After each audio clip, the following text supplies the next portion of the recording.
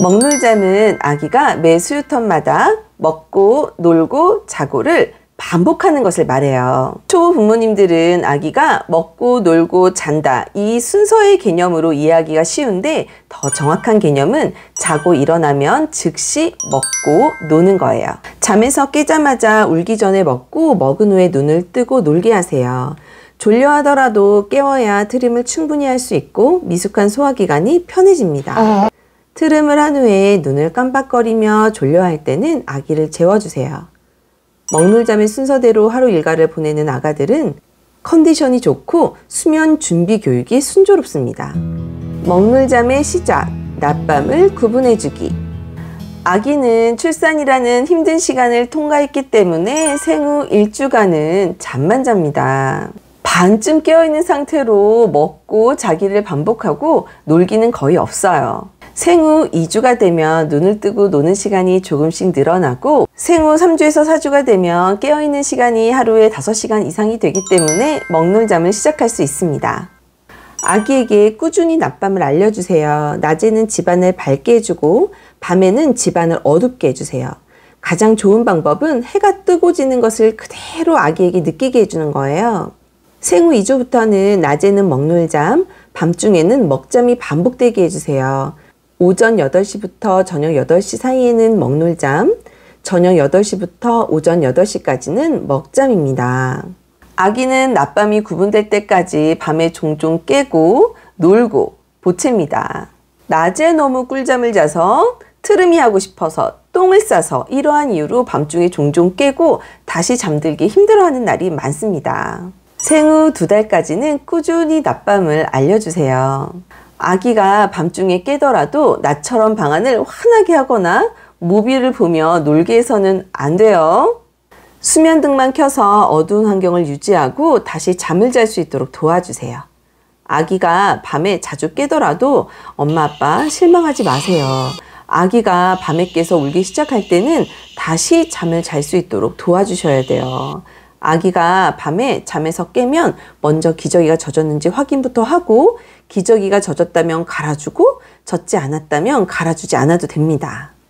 완전 모유 수유하는 아기들은 트름을 먼저 시키고 울음소리가 커지면 수유텀을 고려하지 말고 젖을 잘 먹여서 재워주세요. 완전 분유 수유하는 수유양과 수유텀을 지키지 않으면 과식으로 인한 배앓이가 생길 수 있기 때문에 수유텀이 아니라면 트름을 시켜주시고 백색 소음을 들려주며 놀이개 조국지를 물려서 토닥여 재워주세요. 아기의 울음소리가 점점 커지고 수유텀까지 약 10분에서 20분 남아있을 때는 일찍 수유를 해주셔도 됩니다.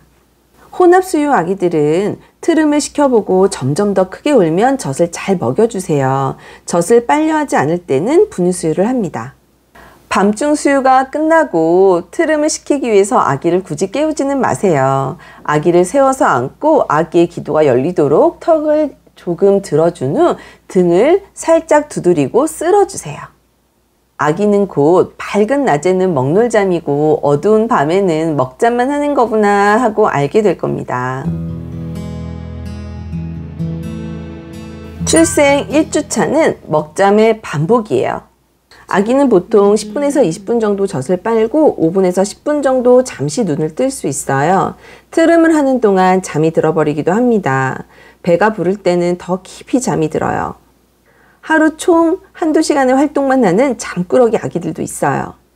생후 한 달까지는 아기가 오래 자더라도 영양과 수분이 부족하지 않도록 3시간을 넘기지 말고 잠을 깨워서 먹여주시고 수유 횟수가 하루 8회 이상이어야 아기가 충분히 섭취하고 체중이 늘 수 있습니다. 출생 2주차는 먹다가 잠들면 깨워서 잘 먹여요. 이 시기는 보통 10분에서 30분 정도 젖을 빨 수 있고 5분에서 30분 가량 눈을 뜨고 놀 수 있습니다. 모비를 보고 놀기에는 다소 이른 시기이기 때문에 아기가 눈을 뜨고 있을 때 가만히 두셔도 됩니다. 부모님이 눈뜬 아기와 놀고 싶다면 부드러운 인사와 스킨십, 눈맞춤을 해주세요. 부모의 목소리와 손길이 최고의 놀이입니다. 수유가 끝났다면 아기를 세워서 안아주세요. 아기가 눈을 뜨면 눈을 맞추고 트름을 시켜주세요. 트름 후에 아기는 바로 잠들 거예요. 아기가 젖을 겨우 몇 모금만 마신 후에 다시 잠이 든다면 트름 자세로 아기를 세워주며 눈을 뜰 겁니다. 잠을 깨워서라도 아기가 충분히 먹을 때까지 반복해 주세요. 간혹 아기를 깨우느라 수유 시간이 1시간 이상 걸린다는 부모님들이 있는데 그 방법은 좋지 않아요. 아기가 아직 어리다는 것을 기억하고 30분까지만 깨워서 먹이기를 반복하세요. 아기를 깨우는 것은 무척 힘들어요. 잘 안 돼도 인내심과 끈기를 가지고 꾸준히 하셔야 아기의 체중이 잘 늘고 잘 성장해요. 부모님들 힘내세요. 출생 3주차는 잘 먹지만 잠자는 것을 힘들어해요. 이 시기에는 산후조리원에서 퇴소하고 집에서 직접 아기를 돌보기 시작하는 때예요. 병원과 산후조리원에서 선사처럼 잠만 잤던 아기들도 출생 3주차부터는 쉽게 자지 못하고 많이 먹으려고 하고 보채요. 이때는 많이 먹으려는 성장 급등기이기 때문에 아기가 배고프다는 신호를 보내면 확실하게 먹이는 거는 엄마의 역할이에요.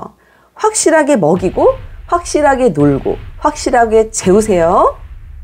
모유 수유를 하는 아기가 잠들지 않고 젖을 잘 빤다면 스스로 입을 뗄 때까지 충분히 먹도록 기다려주세요.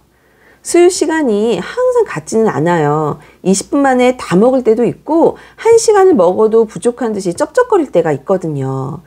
어떤 때는 먹고 논 후에 잠을 못 자고 다시 먹을 수도 있어요.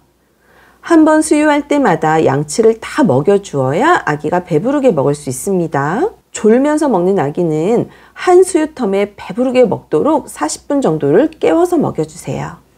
분유 수유를 하는 아기는 출생 체중보다 성장한 현재 체중에 맞는 양을 수유하세요.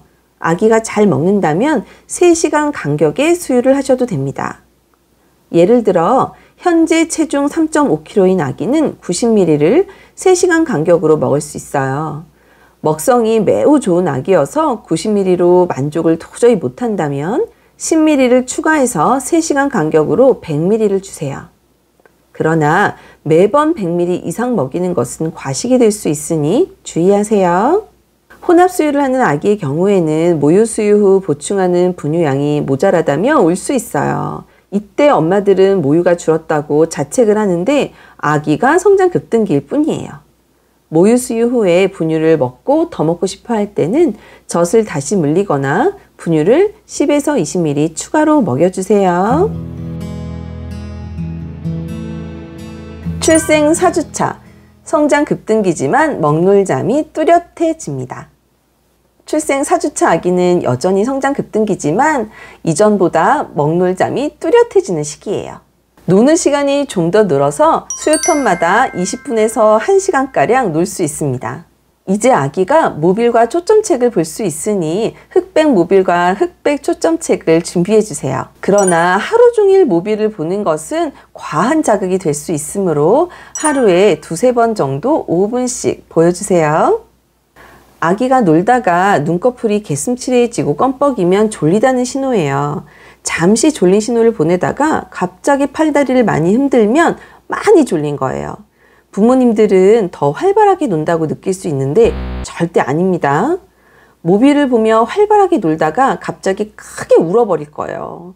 졸린 시기가 지나고 너무 피곤해진 거죠. 아기가 보내는 첫 번째 신호를 꼭 캐치해 주세요. 그때 재워야 덜 울고 덜 울어야 잠을 잘 자요. 잠을 잘 자야 다음 수유 때 기운차게 잘 먹을 수 있습니다. 태어나서 생후 한 달까지 아기를 신생아라고 해요.